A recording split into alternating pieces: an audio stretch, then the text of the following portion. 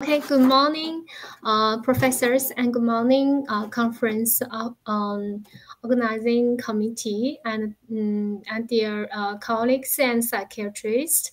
Uh, okay, it's my honor to participate in this meeting and share my research.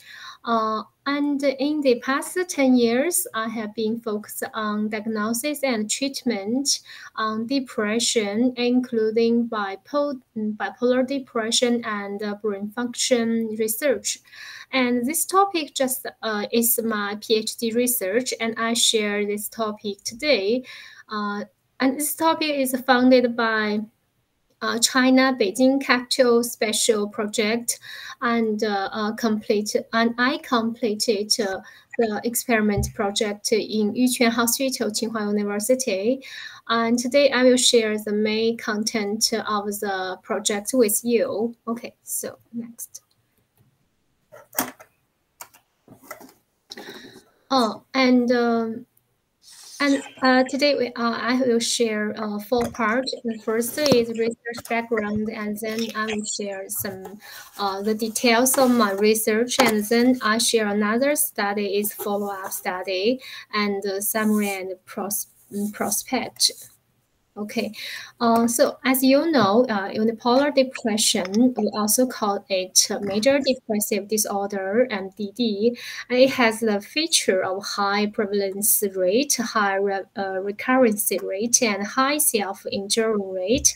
And the uh, it's the clinical um, manifestation was uh, persistent depression and loss of interest and um, pleasure and associated with cognitive disorder and um, sleeping disorder and physical discomfort. Uh, and um, the unipolar, uh, we also, I think um, many of us also familiar with this disease because and it has, uh it also causes uh, bipolar depressive disorder and it causes bipolar depressive disorder, major depressive disorder episodes. Uh, and it's the feature of high mobility, high disability rate, and high uh, rate, and uh, hard cure curable. And uh, the clinical manifestation was uh, persistent. it also was a persistent depression, loss of interest, and um, pleasure associated with uh, um, cognitive disorder, sleeping disorder, and physical disorder. And uh, bipolar disorder, it, it is a common mental health with a lifetime pre um, prevalence of 2 uh, percent to 5%. It's the fifth most uh, disability mental health worldwide. And it occurs um, um, but but you know it's um it has some difficult to, differentiate uh, uh bipolar dis disorder from uh, uh unipolar depression. Uh, the depression at the very early stage because they has a very similar uh, characteristic um, clinical uh, uh, clinical symptoms. So uh, it's hard for our, uh, just like me, uh, psychiatrists to do the good decision uh, in the first. So uh, our research is just want to find some, find some neuro, neuro, neuro, neurological, uh, maybe some biological things we can we can to uh, find uh, whether it is a very special things uh, in the uh, bipolar disorder. And uh, uh, until now, uh, in the DSM-5, uh, distinguished by the mode elevator. Um, yeah, Dr. sorry to disturb you. Can you uh, change your slides? It's not moving. It's on your first slide. Can you change your oh, slides? Uh, it's my first slide, but I have changed my slide. Oh my God. Mm. So, uh, oh, sorry. Uh, let me check why. Mm. Now it's fine. Okay. Mm. So you you always say the first slide. okay. Yes. okay. Let me try again. Okay.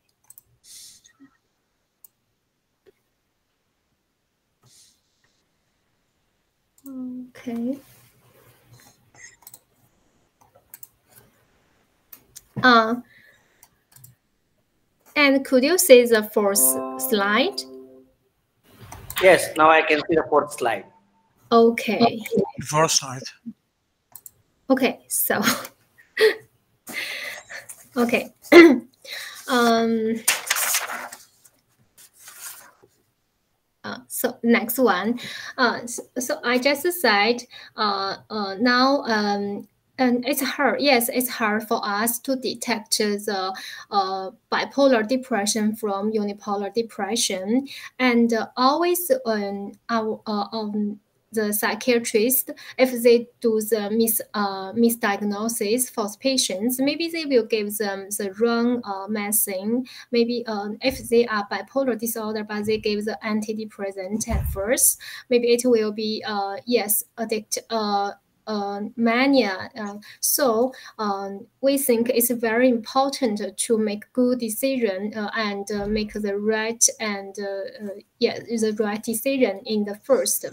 And um, the current understanding of the pathological pathology mechanism of UD and BD are multifactorial um, and we always think maybe there has some genetic loading and uh, environmental factors. All this will be makes a neural change and uh, there also has some circuitry and brain matter, and this uh, will make the brain function have some uh, brain function disease, and also uh, the systematic consequence and abnormal emotion behavior, which ultimately causes social dysfunction and cognitive impairments. And also, cognitive defects are one of those core features of uh, unipolar and bipolar uh, and bipolar. And research has shown, um, and many research show, uh, if there has a uh, emotion system, it will make some uh, inflammatory re response, and uh, this has uh, uh, finding that there will have some cognitive impairment, and then maybe a long time it will be make some disability. So it's hard for us to uh, it's important for us to um, to find something. And uh, currently, most uh, mood disorder, uh, and we we have some uh, cause the functional uh, uh, a functional brain image and it had we have many skills. We could use uh, many uh, management. We can use uh, we can use some equipment to man uh, to measure the brain function. For example all of, um, many of us use fMRI and uh, but fMRI has some uh, some uh, disadvantage because it's um, it has a, an, an if there has some high movement, it will be affect the uh, the results. And also the, the machine is very expensive. It's hard for us to use uh, this uh, machine to, uh, to detect all patients. But FNIRS, it's just our uh, our uh, our experiment. We use uh, our study use FNIRS, and FNIRS is very cheap, and all um, it's a, um, it's just compared with uh, fMRI. FNIRS is very uh, cheap, and um, we can use for most of the patients in our hospital. Every patient when when when they uh, came to see me, and I will get, let them to do the FNIRS and. Um, and uh, to detect their brain uh, brain brain function uh, before their uh, the first uh, the first diagnosis, and then when they come to see me, I also give them. The, then I can do the comparative study, and uh, um, okay. Oh, oh, oh. So this is the near infrared spectroscopy. Oh. Oh. And uh, uh, we need uh, we need the uh, the light pass through scope through the core, and uh, uh, and then they reject the light. and okay, and the scatter photo are captured by the detector, and the change of the absorption coefficient and scatter coefficient can be obtained according to the change of the light. We use the Beer-Lambert law can be used to calculate the change in the state of the blood in the cell uh, of the uh, of the core test.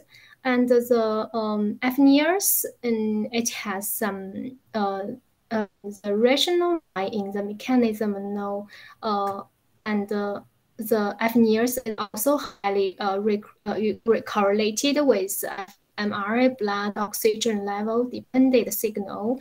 And FNIRS has advantage of low cost and uh, easy to quick to use and mm, portability and high tempo, temporal uh, resolution and a relatively relaxed testing environment and providing a real-time monitor window on a patient culture function during a, spe a specific cognitive task. Um, so it has a high time resolution environment measure and uh, non-invasive uh, methods and easy to integrate with other technology and the equipment is cheap. So it has a, a very big um, um, clinical application in the future and we use this and uh, and we use uh, verbal fluency task for uh, for this uh, uh, this whole uh, whole, this protest. Uh, verbal uh, fluent task has been widely used to explore function cognitive impairment in FNIR study. This task could uh, um, activate the pre, uh, prefrontal cortex, and um, it is more reliable, validity, and easy to operate and uh, implement. And um, we use this is just uh, we like the uh, we like every patients uh, or every subject when they participate to our task and to later I will give you the, the, the picture for the VFT task. Okay. And uh, our study is first is fundamental research, and then it's also a, a clinical uh, application. We just want to find the real thing we could do to do the uh, differentiating from bipolar depression and bipolar depression.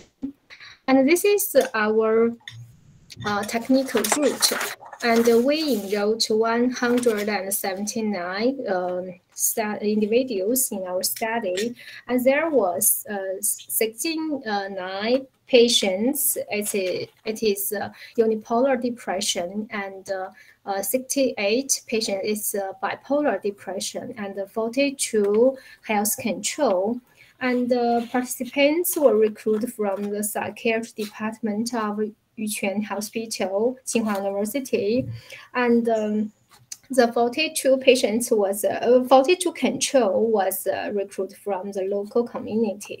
And all the individuals were between uh, 18 to 16 years old 60 years old right-handed and diagnosis used DSM-5 by two senior psychiatrists and then we give the uh, NIRS uh, test and give them some uh, uh, skills uh, skills and uh, then we do the compares comparative study, and this is the this is our subject. Yes.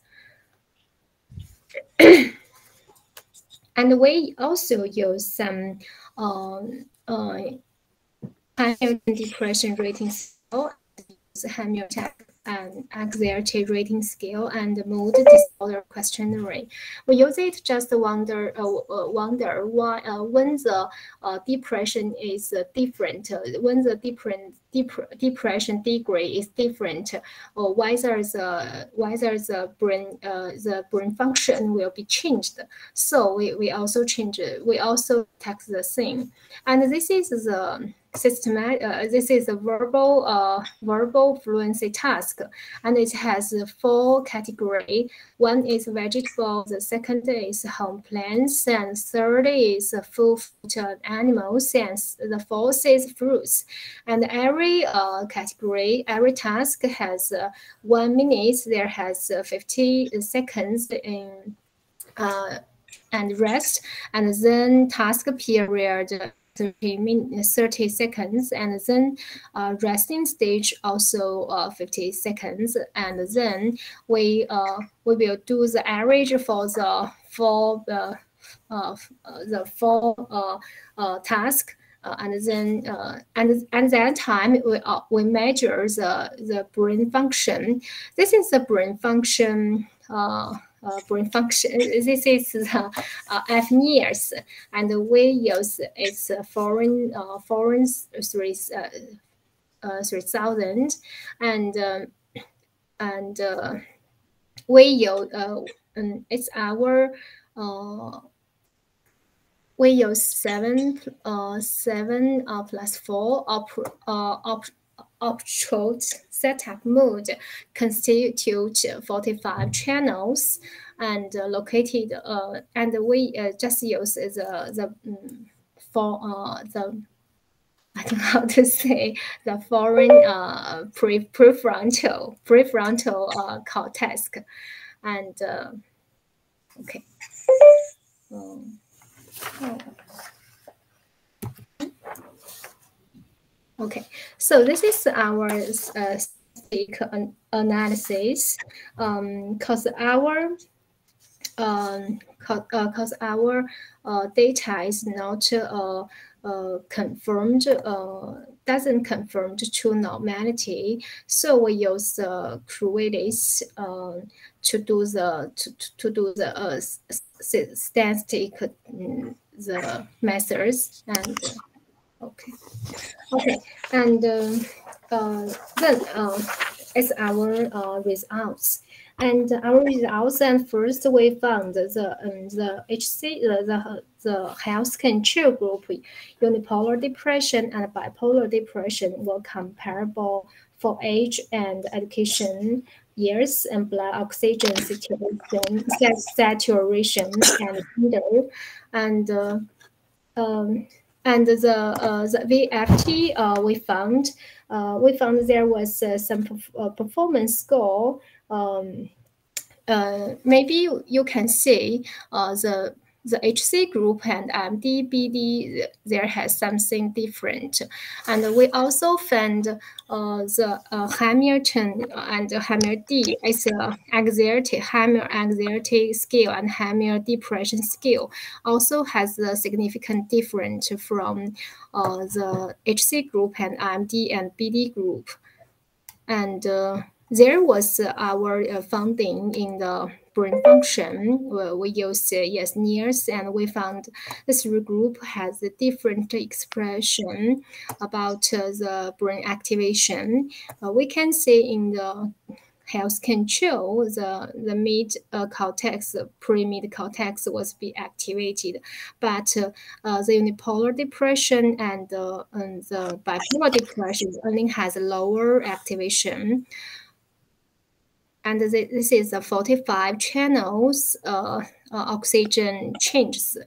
And uh, um, after the statistics, uh, we found there has uh, 10 uh, channels and yes, in the different area in the brain and among the three groups. And it's just in the uh, um, and we uh, we found there has some uh, regular things. Uh, one is uh, uh, oxygen. oxygen. This is oxygen concentration activation level um, in unipolar depression, bipolar, and health control. We can see most of the channels, the, the the health control was uh, higher, uh, higher, uh, higher than the other two groups, and the MD group always the, the lower group in uh, lowest group in the in, in among the three groups, and uh, the BD group between the between them. So we just found always there has something.